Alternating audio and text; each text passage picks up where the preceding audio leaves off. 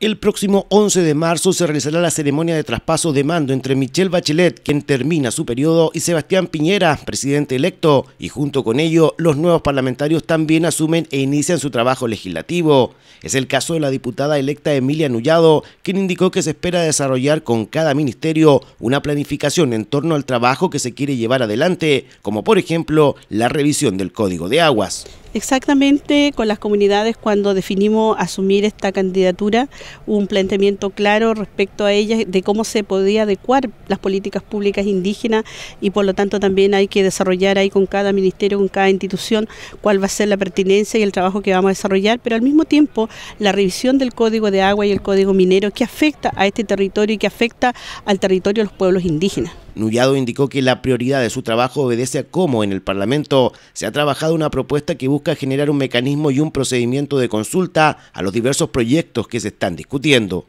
La prioridad y obedece a cómo en el Parlamento eh, se estaba trabajando una propuesta para generar un mecanismo y un procedimiento de consulta a los diversos proyectos que se tengan que votar en el Parlamento, que actualmente hoy día no existe. Si bien el convenio 169 ha permitido que en algunos proyectos se pueda consultar y generar participación, pero en el Parlamento cada proyecto que ha ingresado no ha tenido la consulta de los pueblos indígenas y por lo tanto es una de las grandes preocupaciones y va a ser una de, de las mociones iniciales que vamos a presentar.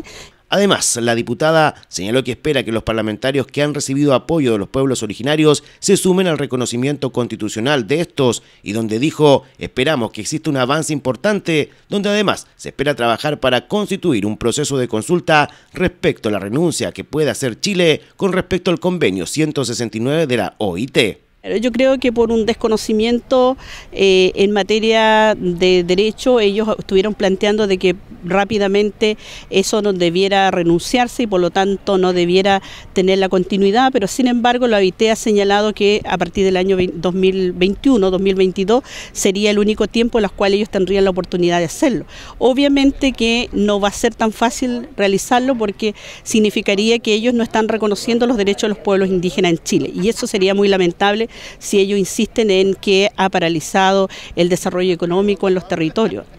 Eso no ha sido así, sino al contrario, ha permitido que exista una mejor relación y donde también sean los pueblos los que tengan acceso a los diversos proyectos de ley que se tienen que incorporar en cada uno de los territorios. Recordemos que la Cámara de Diputados ha sufrido algunas modificaciones donde ahora son cuatro los representantes del Distrito 25 que envuelve las comunas de Osorno, San Juan de la Costa, San Pablo, Fresia, Frutillar, Yanquihue, Los Muermos, Puerto Octay, Puerto Varas, Purranque, Puyehue, Río Negro y quienes inician su trabajo legislativo el próximo 11 de marzo.